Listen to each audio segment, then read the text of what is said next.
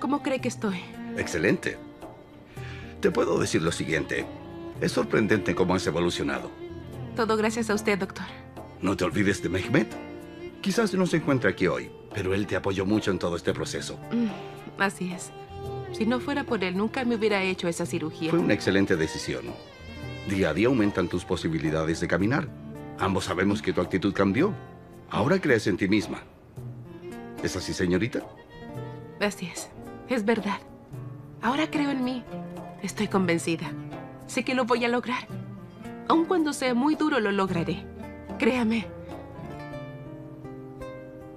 Ruquille, mira, se parece a la tía Munever. ¿Qué dices, Sorjan?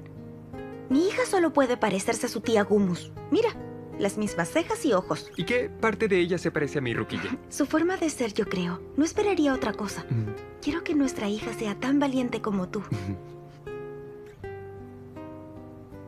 Mi bella mujercita. Hola, buenas tardes. ¿Cómo está su bebé? Gracias a Dios está bien. Entonces la enviaremos a casa mañana. ¿Mañana?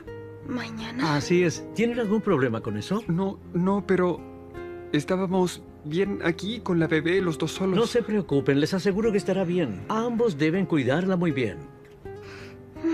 Eso espero.